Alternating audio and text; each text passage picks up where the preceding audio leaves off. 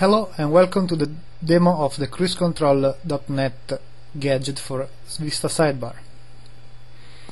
First thing we add the gadget to the sidebar.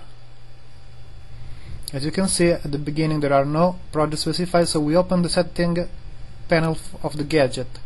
There are three tabs, projects, options and about. The about will display the license let's set a new project.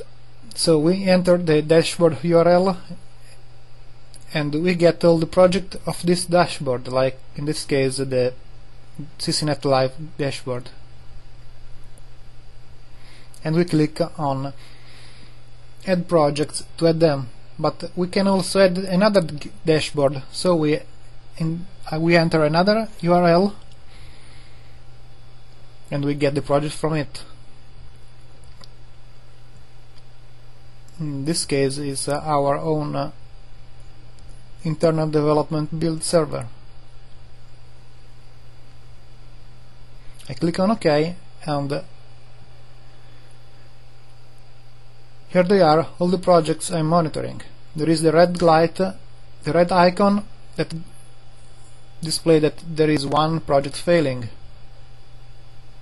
If I want I can choose to show only the failing project